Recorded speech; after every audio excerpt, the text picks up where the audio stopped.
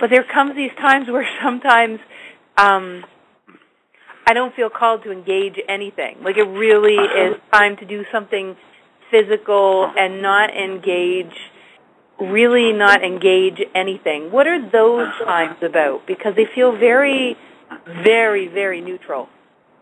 Well, the, the funnest part about that, sweetie, is without any work whatsoever. You know, let's Mhm. call it hyperstimuli, analytical, so forth and so forth.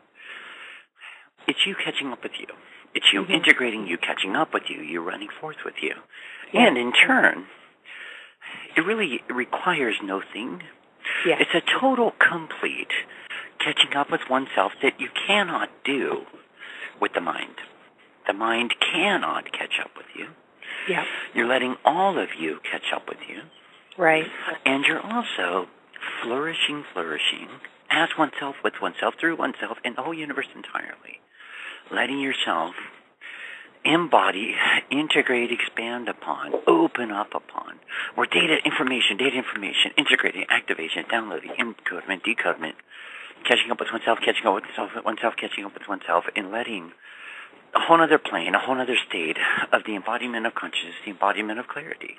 The total complete presentation of clarity and embodiment to run forth, run forth, and run forth. See, it's not something that analytical can put on a schedule. It's not something the analytical can put even into a box or a frame of reference. It's not something at all the analytical can try to box in.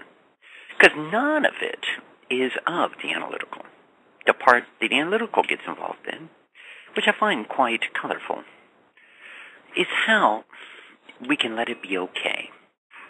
That's the interesting part. Right. And I that think of that's the interesting part because we're so used to or, part of that thing that we undecided just moments ago was uh, one of the things that we decided a long time ago in the density is that human beings are only valuable if we're doing something, if we're up to something, if we've got a project, if we've got our teeth into something. And achieving.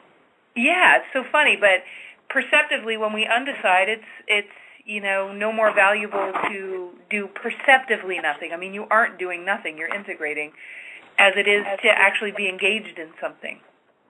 Well, and actually, when you're engaged with nothing, you're actually more engaged with everything, which is where you're having what we'll call more, more, more, more, more of an impact than if you were busy, busy, busy. That makes it everything so finitely small in comparison to you.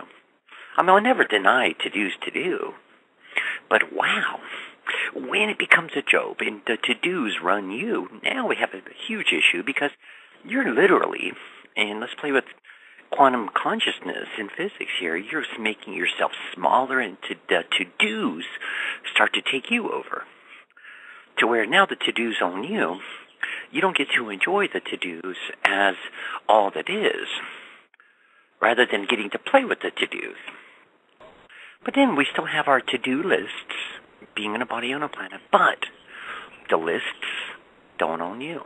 You're able to play with them. You're even able to enjoy them because, once again, they do not own you.